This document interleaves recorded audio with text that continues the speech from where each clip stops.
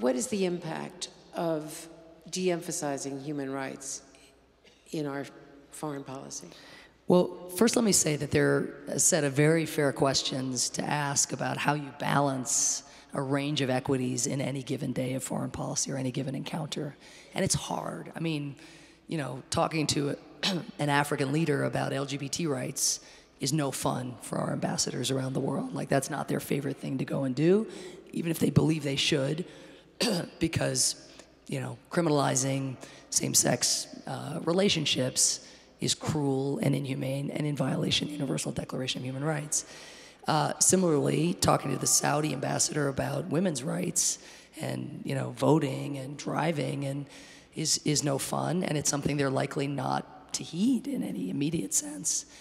But it is the case that our soft power has derived from many things, including you know Broadway musicals like Hamilton and our culture and our sports and all the rest.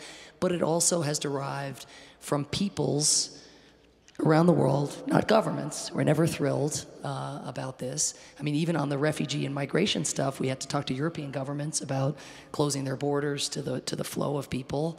So even raising human rights with your closest allies who share your values is not fun, and not necessarily impactful in the moment.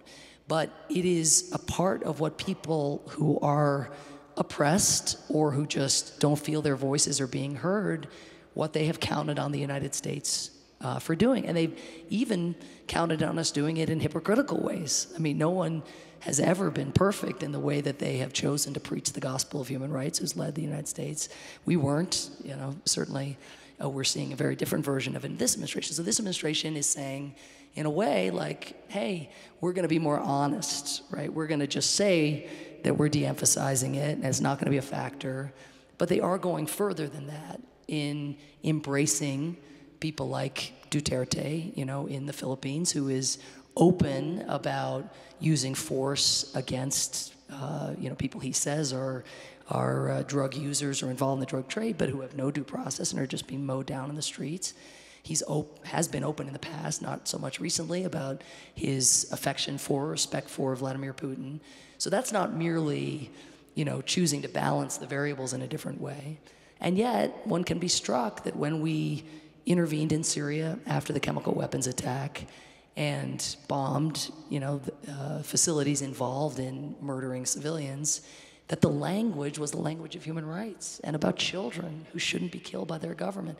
When we tried to reverse some of the steps on the Cuba normalization process that we had unleashed, again, last week or whenever that was, the language was all about human rights in Cuba.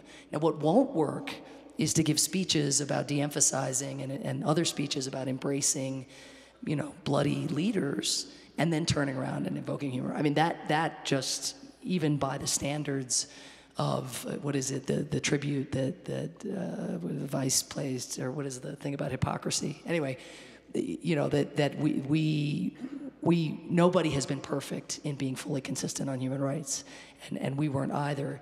But there's there's a way of doing it now uh, where it's so clear that this has been uh, put to one side, and you know people could get used to that. It would be a great shame for all those people out there who count on us, but they could get used to that. But what they will never get used to is overtly de-emphasizing it or saying it doesn't matter and then turning around and invoking it as your rationale. That can't work.